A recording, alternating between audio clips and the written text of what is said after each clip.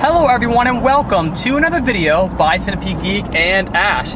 Today we're going to discuss our thoughts and opinions upon a film titled RoboCop. If you don't know, though I'm sure most of you do, RoboCop is a remake of the original 1980s film that uh, Peter Weller, I believe the actor's name was, uh, and now they rebooted it obviously, and this one stars Samuel Jackson, Michael Keaton, and Gary Oldman. And pretty much it takes the basic concept, it kind of twists it on its head a little bit. But uh, you know, obviously we have we have a guy that gets blown up and he gets turned into a robotic cop and he takes down criminals in the city. That's pretty much the main gist of that. I don't want to spoil too much, but it's a lot more than that. Uh, so what did you think of RoboCop the remake, Ashley? I really liked the remake. It was really good. Um, comparing it to the original, I mean, I mean, you can't compare it because you know you see the similarities, but I mean, it takes it on its own kind of spin, also. Yeah. Whenever, like he wear, I like how he wears both of the suits. That was cool. Yeah, he wears he wears a suit that looks very similar to the original one, the silver, and then you know the silverish kind of grayish suit, and then he wears a black one too. And the black suit doesn't look too much different. It's just black. That's the only difference. And I, I like how they, you know, and then at the end, you know, he wears the the, the regular RoboCop suit again. Did you notice that? How they went back to Mm-hmm. the, re- you know, the kind of the basic suit. I thought that was really cool. Uh, my favorite person in this film was probably Gary Oldman. I thought he was really cool. Uh, I just thought his acting was good, especially the scene towards the end. Uh, Major spoiler coming up where he tells them he's like, "Hey, he's like, you got you got to get out of here. They're coming to kill you." You find out that the cops are corrupt and all that. I love that scene where he's like yelling at him and he wakes up and shoots the guys. Uh, I like how this one's kind of, if, in all honesty, this this one feels a little bit more human.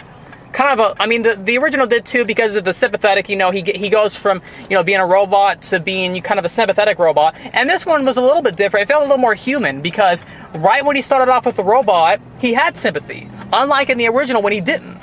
In this film, he has sympathy, and it's not till later on do they fully erase that sympathy. And then it goes from being like to the whole like human versus machine. At, at times, the human takes over, and at other times, the machine would take over. So there's there's like this whole sort of I guess you could say psychological fight going on. A really cool concept when you think about it. This fight going on between like the machine and the human. The machine would take over and the human, and then you know the whole concept. I thought a little more science fictiony. I thought.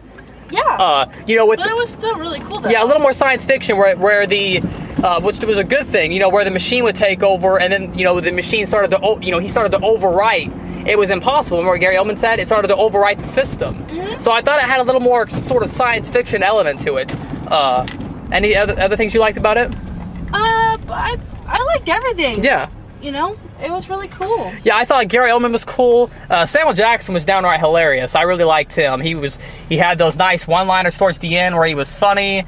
And what did you think, of Samuel Jackson? Did you like him? Mm-hmm. Yeah, I thought I thought he was really cool in the film. Just the way he delivered his lines, and they kind of played it off the they kind of played it off the original, the whole because I think the original had a little more satire in it, uh, but they had the whole you know news, you know, and it has some great social commentary in it. You know, should we have robots in our society. I kind of like the whole sort of government political debate thing. I like stuff like that that has that you know sort of debate. You know, should we have robots in our society? You know, should you know what if they killed a kid? You know, I like that. I like the whole you know because when I when I went into RoboCop, I was expecting sort of just an action film.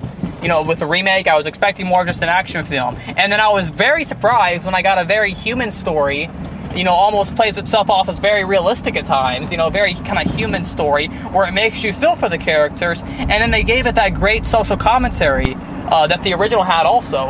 Um, which one do I like more? It's kind of hard to say because they're both, you know, two totally different films. Um, when you think about it, you know, there are some similarities, but, you know, I think this one does kind of its own thing.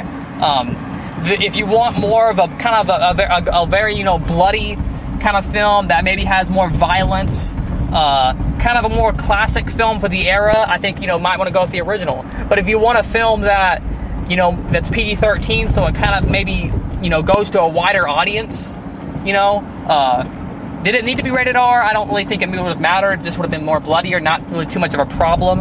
Uh, what did you think of Michael Keaton, the you know kind of the, the you know the, the bad guy, the you know the corrupt cop?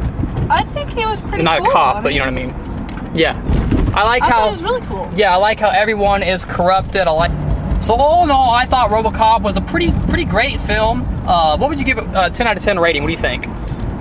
Or one out of ten? Um, What do you think? I'm going to get a solid 10 out of 10 because I, I really yeah, enjoyed I give it. it a solid 10 out of 10. It was really awesome, really cool. Um, me personally, I actually liked it better than the original. Well, see, there you go. Sometimes the opinions differ. Uh, for me, I mean, I think I think both are equally good. I mean, just depends on what you really want, right? Right. Any last thoughts on RoboCop? Once again, thanks for watching another video by Centipede Geek for our review of RoboCop. Make sure to like, comment, subscribe to the page below, and we'll see you guys later. More videos by Centipede Geek and Ash.